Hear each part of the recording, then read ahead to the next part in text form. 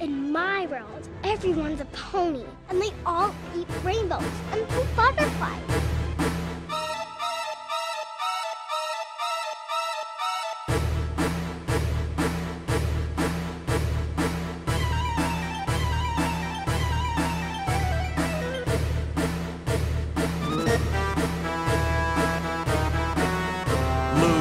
And Katie.